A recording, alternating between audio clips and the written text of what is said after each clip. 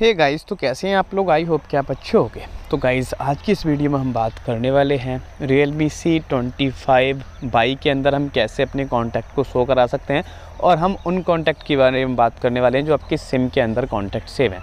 मतलब कि आपने नया फ़ोन लिया है और आप स्विच कर रहे हैं एक स्मार्टफ़ोन के अंदर और आप चाहते हैं कि आपके कॉन्टैक्ट जो आपको शो हो जाएँ, आपके सिम वाले कॉन्टैक्ट तो कैसे होंगे गाइज़ उस बारे में हम आपको बताने वाले हैं। सिंपल सिंपल से स्टेप्स हैं जो कि आपको देखने और फॉलो करने हैं। सबसे पहले गाइज़ आपको क्या करना पड़ेगा? आपको अपने फ़ोन के अंदर जो आपका कॉन्टैक्ट वाला सेक्शन है मतलब कॉन्टैक्ट के अंदर आ जाना है कुछ इस प्रकार से।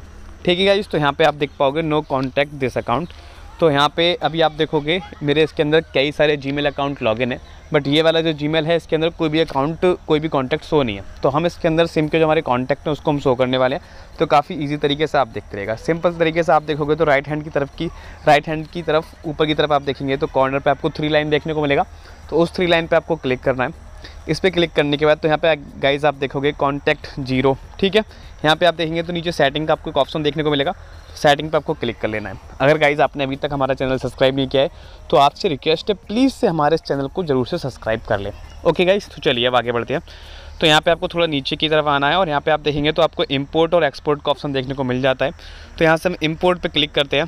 इंपोर्ट पर क्लिक करने के बाद गाइस यहाँ पे आप देखेंगे तो आपको तीन ऑप्शन देखने को मिलते हैं। यहाँ पे जो आपका पहला पहला ऑप्शन है वीसी फ़ाइल ठीक है? दूसरा है सिम एयरटेल और तीसरा है सिम वीआई तो यहाँ से हम सिम वीआई के अंदर क्लिक करेंगे या फिर एयरटेल जो भी सिम के आपके कॉन्टैक्ट हो, आप उस पर क्लिक कर लेना है आपको।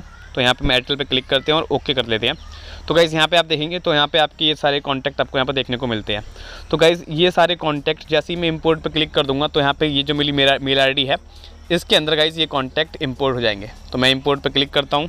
ठीक है, ये बोल रहे हैं remove copies for SIM card ये बोल रहे हैं कि अगर आप अपने सिम के अंदर से ये नंबर रीड करना चाहते हैं तो आप यहाँ से रिमूव कर दें और कीप करने, कर देंगे तो कोई दिक्कत नहीं है। तो यहाँ पे हम कीप करेंगे क्योंकि हम नहीं चाहते नंबर डिलीट हो। ओके गाइस तो मैंने ये कर दिया तो 19 सिम के कॉन्टैक्ट इम्पोर्टेड हो चुके हैं। तो चलिए चेक कर लेते हैं हम। यहाँ पर गाइस हमारे नंबर शो होने चाहिए। मैंने रिफ़्रेश किया इसको। बट गाइस यहाँ पर भी नंबर शो नहीं हुए। ठीक है गाइस तो चलिए एक बार मैं चेक करता हूँ ऐसा क्यों हुआ। ओके ओके गाइस तो इस वाले अकाउंट के अंदर हुए थे हमारे। तो इस वाले अकाउंट पे हम क्लिक करेंगे तो यहाँ पे हमारे नंबर शो हो जाते हैं। ओके गाइस तो जैसे कि आपने देखा था, वहाँ पे ये वाला जो अकाउंट शो होकर रखा था, ठीक है, इसी वाले अकाउंट पे मैंने क्लिक किया था, इसलिए आपका नंबर शो नहीं हो रहा है बट अब हो रहे हैं। तो गाइज़ आई होप कि आप समझ गए कि कैसे होता है। तो गाइज़ आई होप कि आपको वीडियो अच्छी लगी। वीडियो अच्छी लगी तो वीडियो कर दो लाइक और चैनल को लो सब्सक्राइब तो गाइज़ मिलते हैं आपसे फिर किसी अगली और इंटरेस्टिंग वीडियो में। तब तक के लिए bye bye and take care और प्लीज़ गाइज़ चैनल को सब्सक्राइब कर लेना।